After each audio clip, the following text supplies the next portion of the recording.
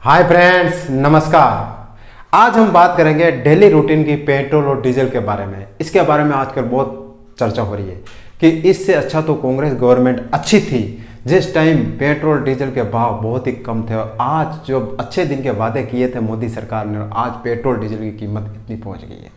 तो इसका क्या कारण है कि पेट्रोल, डीजल मोदी सरकार गवर्नमेंट में ज़्यादा जा रहे और कांग्रेस सरकार में कम थे?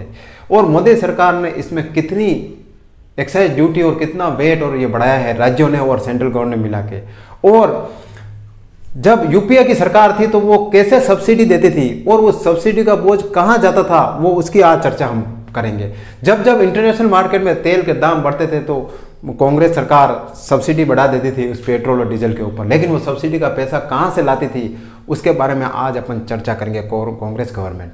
और मोदी सरकार ने अभी जो वर्तमान में पेट्रोल, डीजल के रेट इतना हाई क्यों किए गए हैं, बल्कि इंटरनेशनल मार्केट में तेल के दाम नीचे हैं, फिर भी अपने इंडिया में पेट्रोल और डीजल के दाम बहुत ही ऊपर है। इसका क्या कारण है? इसका एक रीज़न अपन अभी देखते हैं। देखिए, सबसे पहले मैं आपको एक कंपैरिजन करके बताता हूँ।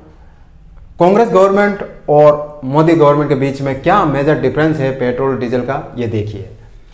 यूपीए टू का कार्यकाल के बारे में अपन चर्चा करते हैं। उस वक्त तेल की कीमत 112 डॉलर प्रति बैरल थी इंटरनेशनल मार्केट में। जब इंडिया इंटरनेशनल मार्केट से तेल खरीद रहा था तो एक टाइम ऐसा भी आया जो एवरेज तेल की कीमत 112 डॉलर प्रति बैरल रही थी। तो भी उस समय नोट करने की बात है तो भी उस समय अपने इंडिया में पेट्रोल की रेट 65.76 थी। आप नोट करना, मैं आगे इसका कंपैरिजन बताऊँगा। और डीजल की रेट थी 56.80 देखिए, अब, अभी मोदी सरकार है 1 जून 2021 को तेल की कीमत इंटरनेशनल मार्केट में छियासठ डॉलर प्रति बैरल है। अब अंतर देखिए आप। ये 2014 की रेट बता रहा हूँ मैं आपको। उस वक्त 112 डॉलर प्रति बैरल पहुँच गया था तेल इंटरनेशनल मार्केट में। अभी वर्तमान में छियासठ पॉइंट फोर्टी है। तो अब कितना डिफरेंस है? और अभी पेट्रोल की कीमत 101 प्रति लीटर है अपने इंडिया में, और डीजल की 96 प्रति लीटर है। अब देखिए, उस वक्त 112 डॉलर प्रति बैरल था तो भी तेल 65 रुपए था अपने इंडिया में। और अभी इंटरनेशनल मार्केट में छियासठ डॉलर प्रति बैरल तेल है, फिर भी अपने इंडिया में रेट 101 लीटर है। प्रति लीटर। अब आप सोच सकते हो कि इतना डिफरेंस क्यों? इतना डिफरेंस का एक मेजर कारण है कि मोदी सरकार ने 300 परसेंट एक्साइज ड्यूटी तेल पे बढ़ा दी है। मोदी सरकार ने तो बढ़ाई है, बढ़ाई लास्ट साथ ही साथ राज्यों ने भी अपने वेट को बढ़ा दिया गया है। इन दोनों को अगर अपन राज्यों और केंद्र के दोनों को अगर टैक्सेस को जोड़े तो 300 परसेंट एक्स्ट्रा ड्यूटी इस तेल पे ऊपर बढ़ा दी गई है। अगर इस 300 परसेंट ड्यूटी अगर वो सेम टैक्सेस अगर रहते अभी वर्तमान में यूपीए टू के कार्यकाल में जो टैक्सेस थे, वो टैक्सेस अभी रहते तो अपने इंडिया में पेट्रोल की कीमत 101 नहीं सितर रुपए होती। यानी 300 परसेंट, यानी 30 रुपए एक्स्ट्रा प्रति लीटर पर इन्होंने अपने वेट और एक्साइज ड्यूटी सेंट्रल गवर्नमेंट और राज्य सरकार दोनों ने मिलकर बढ़ा दी अगर ये नहीं होता तो आज आपको सितर रुपए में पेट्रोल मिलता। अब चर्चा है कि अब ये टैक्सेस कैसे बढ़े? टैक्सेस का भी मैंने आपको पूरा बता रखा है। देखिए 16 मई 2014 को पेट्रोल की बेस प्राइस थी अड़तालीस रुपये देखिए, और एक्साइज ड्यूटी उस वक्त लग रही थी नौ पॉइंट अड़तालीस रुपये टैक्सेस के रूप में। डीलर का कमीशन लग रहा था दो रुपये और राज्यों का वेट लग रहा था ग्यारह पॉइंट नाइन और टोटल कीमत आ रही थी seventy point seventy one point forty one उस वक्त। ठीक है, और अभी आज प्रेजेंट टाइम में बता रहा हूँ मैं आपको। अब यह कंपैरिजन आप देख लीजिए, मोदी सरकार का और इसका ये। बेस प्राइस अभी क्या है? अभी थर्टी नाइन बेस प्राइस है। बेस प्राइस उस वक्त ज़्यादा थी, इस वक्त बेस प्राइस कम है। लेकिन उस वक्त एक्साइज ड्यूटी 9.48 थी और अभी एक्साइज ड्यूटी 32.9 है। सबसे ज़्यादा अंतर इसमें आ रहा है। ये एक्साइज ड्यूटी जो सारा टैक्स सेंट्रल गवर्नमेंट का जा रहा है। और उस वक्त डीलर का कमीशन भी सिर्फ़ दो रुपए था। अब डीलर का कमीशन भी बढ़ गया 3.79 डीलर का कमीशन हो गया है। उस वक्त राज्यों का वेट 11.9 था और अभी आज प्रेजेंट में राज्यों का वेट 21.9 है। राज्यों का वेट भी बढ़ चुका है। एक चीज़ और बड़ी है इसमें। 3.9 आप एक्स्ट्रा देख लोगे, वो रिफाइनरी प्रोसेस का भी चार्ज इसमें लग गया। तो ये सारा सब अगर टोटलिंग करते हैं तो अभी प्रेजेंट टाइम में सौ रुपये की रेट आ रही है पेट्रोल की। पिछले छह साल में मोदी सरकार ने 300 परसेंट का टैक्स कलेक्शन एक्स्ट्रा बढ़ाया है। अब आप देख सकते हैं 300 परसेंट एक्स्ट्रा इनके ऊपर वेट और ये सब टैक्सेस बढ़ाए हैं। अब सवाल ये आता है कि अगर गवर्नमेंट ने टैक्सेस वगैरह आखिर क्यों बढ़ाए हैं? आखिर क्या ज़रूरत पड़ी है? सरकार भी तो यूपीए जो सर, कांग्रेस सरकार थी उस हिसाब से अभी भी इसके ऊपर सब्सिडी दे सकती थी। आखिर मोदी सरकार इसके ऊपर सब्सिडी अपन को क्यों नहीं दे रही है? सबसे मेन पॉइंट में लोगों के मन में भी यही जहन है कि आखिर यूपीए सरकार पैसा कहाँ से लाती थी? जब जब इंटरनेशनल मार्केट में रेटें बढ़ती थी, तब यूपीए सरकार सब्सिडी बढ़ा देती थी और अपने यहाँ पेट्रोल डीजल के दाम नहीं बढ़ते थे। लेकिन ऐसा मोदी सरकार क्यों नहीं कर रही है? मोदी सरकार सब्सिडी क्यों नहीं दे रही है पेट्रोल डीजल पर? इसका जवाब बहुत सारे लोगों के पास नहीं है। लेकिन आज हम इसका जवाब देंगे। अभी लेटेस्ट एक महीने पहले वित्त मंत्रालय ने इसकी एक पूरी डिटेल जारी की आखिर हम पेट्रोल, डीजल के ऊपर सब्सिडी क्यों नहीं दे पा रहे हैं? कि उसका एक क्या कारण है? आइए अभी अपन देखते हैं। इसका एक कारण मेजर यह था कि यूपीए सरकार ने बहुत से ज़्यादा सब्सिडी दे दी। उसका बोझ अभी वर्तमान में सेंट्रल गवर्नमेंट के ऊपर पड़ रहा है। वो किस तरह से सब्सिडी का बाहर अभी पड़ रहा है, वो अपन आगे देखते हैं। आइए देखिए। अब हम बात करेंगे कि यूपीए सरकार में पेट्रोल और डीजल के दाम क्यों नहीं बढ़ते थे? उस वक्त तो इंटरनेशनल मार्केट में पेट्रोल और पेट्रोल की रेट और सबसे ज़्यादा हाई थी। मैंने बताया था 112 बैरल प्रति डॉलर थी। फिर भी यूपीए सरकार ने पेट्रोल डीजल के दाम नहीं बढ़ाए थे। उसका सबसे कारण था, अभी अपन जानेंगे। उन्होंने जब जब इंटरनेशनल मार्केट में रेटें बढ़ी तो यूपीए सरकार ने क्या किया कि तेल कंपनियों को ऑयल बॉन्ड जारी कर दी सब्सिडी के रूप में। सबसे बड़ी बात नोट करिए ये सूचना वित्त मंत्रालय ने उपलब्ध कराई थी अभी महीने पहले, एक महीने पहले। और वो बॉन्ड 10 से 20 सालों के बीच में परिपक्व होने थे। मतलब जो एक्स्ट्रा राशि, जो सब्सिडी दी जा रही थी, उस सब्सिडी का बॉन्ड बना के जो अपनी इंडियन की ऑयल कंपनियाँ हैं, उनको दे दिया था। और वो ब्याज सहित अब उनको चुकाना है धीरे धीरे अब उनकी परिपक्वता राशि है। अपन ये कह सकते हैं, एक तरह की एफडी है जो आपको 10-10 साल में वो पकड़ी है। वो सब्सिडी है जो अब मेच्योर हो रही है और उसको इंटरेस्ट सहित अब ऑयल कंपनियों को पेमेंट करना है। तो जो ये जो सब्सिडी का, यूपीए सरकार के टाइम जो दी गई सब्सिडी का भार अभी वर्तमान में मोदी सरकार के ऊपर पड़ रहा है। सबसे बड़े कारण ये।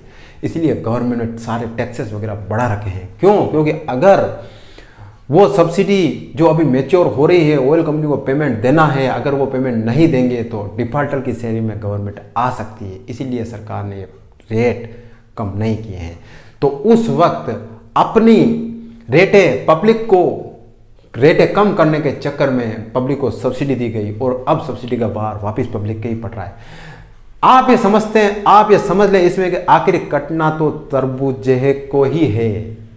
तरबूजा चक्कू के ऊपर पड़े या चक्कू तरबूजे के ऊपर पड़े, कटना आम इंसान को ही है इसमें। सरकार, गवर्नमेंट कहीं से भी पेमेंट नहीं लाती है। पेमेंट अपन से ही लेती है और अपन को ही देती है। जब उस वक्त, उस सरकार ने अपन को सब्सिडी दे दी, अपन उस वक्त खुश हो गए और आज यही सरकार अपन से ही अपना पैसा वापस ले रही है और उन ऑयल कंपनियों को दे रही है।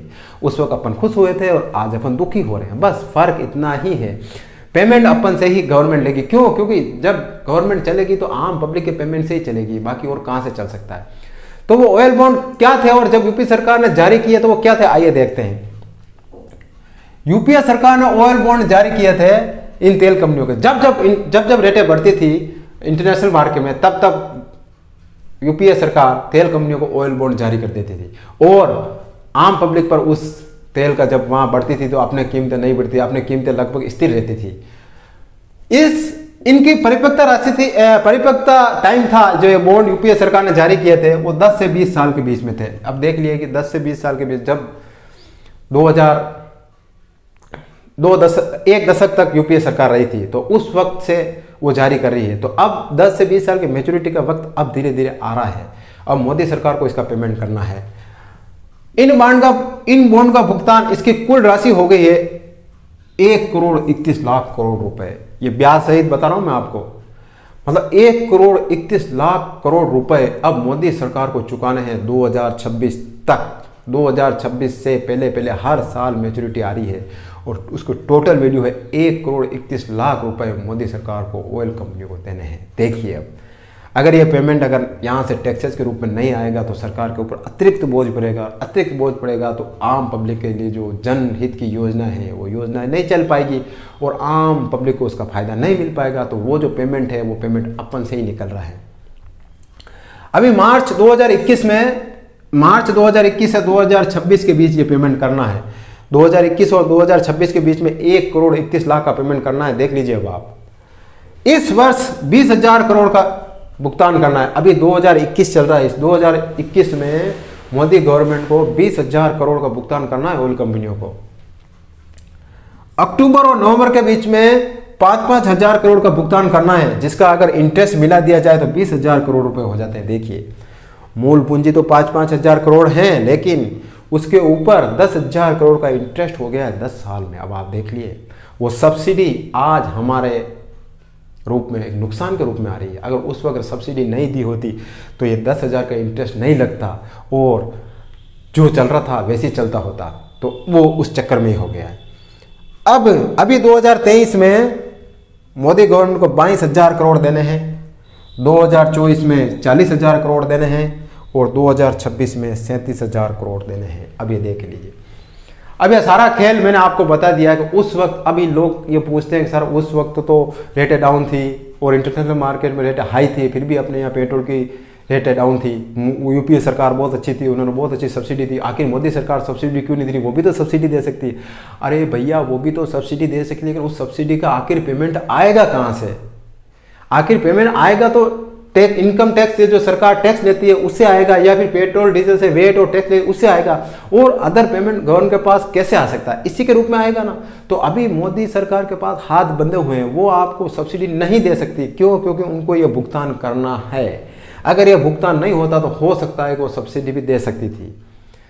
तो ये कारण है कि आज प्रेजेंट में की जो गवर्नमेंट है, वो सब्सिडी नहीं दे पा रही है और पूर्व की सरकार थी जो सब्सिडी दे सकती थी। क्यों? क्योंकि वो बॉन्ड जारी किए थे और वो बॉन्ड अब परिपक्व हो रहे हैं। उसका पेमेंट अब मोदी गवर्नमेंट को करना है। इसी के साथ आज यही अगर मेरा वीडियो आपको पसंद आया लाइक करें शेयर करें और कमेंट करें और मेरे चैनल को सब्सक्राइब करें ताकि मेरे आने वाले वीडियो की नोटिफिकेशन सबसे पहले आपको मिलती रहे और ऐसे ही नॉलेजेबल वीडियो मैं आपके लिए लाता रहूँगा।